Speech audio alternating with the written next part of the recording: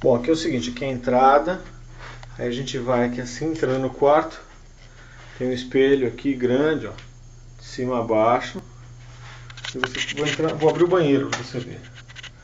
O banheiro tem um box aqui, é tudo de vidro, com uma ducha dupla, muito louca, e uma banheira chocante aqui, gigantesca, separada, um grande espelho aqui de parede inteira, com um negocinho para fazer a barba, iluminado, todos os, os detalhezinhos aqui. E aí você tem aqui a privada, um outro cômodo à parte. Com o telefone lá da privada, que é ótimo com emergência. De volta aqui, vamos correndo, saímos daqui e vamos para o quarto.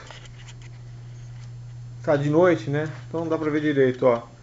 Tem a cama gigantesca com um monte de almofadas.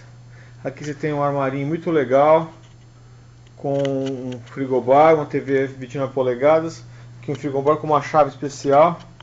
Eu vou abrir para mostrar aqui dentro do armário, onde você tem uma tábua de passar roupa, os gavetões aqui um, uma, uma, tem uma cesta ali de cookies, tá?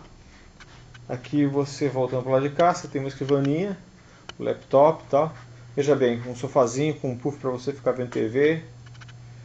E um telefone, dali também tem um despertador e voltando para cá só para mostrar, você tem um controle remoto da TV à distância para internet na televisão se quiser e você tem aqui uma cafeteira para fazer um café de manhã cedo, legal né? Bom, esse aqui sou eu desligando dessa minha, desse pequeno documentário.